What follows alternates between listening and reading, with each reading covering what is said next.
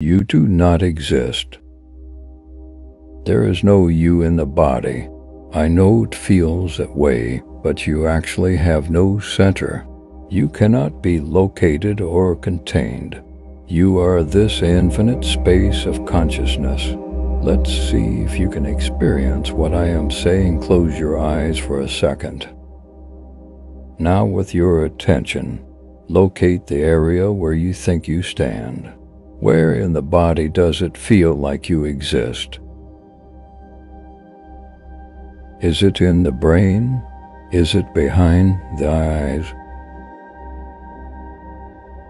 Maybe in your chest.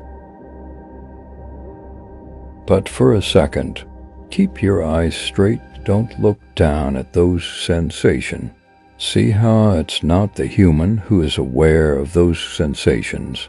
See how the place where you think you exist is just a sensation. It's something else that aware of it.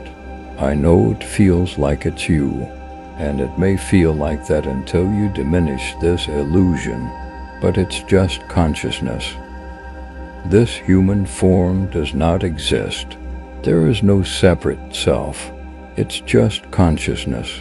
There is no observer, and the object that is observed. It's all just consciousness. Notice how the body is within consciousness. So how could that be the essence of who you truly are? You may open your eyes.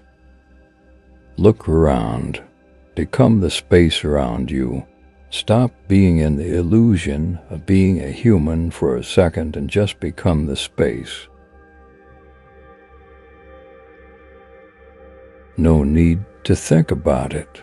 But if you are realize how thoughts are expressed in the space, notice how things are just happening without the idea of you.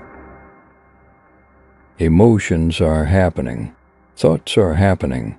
Listening is just happening. The decision to turn and look around your room, that is just happening.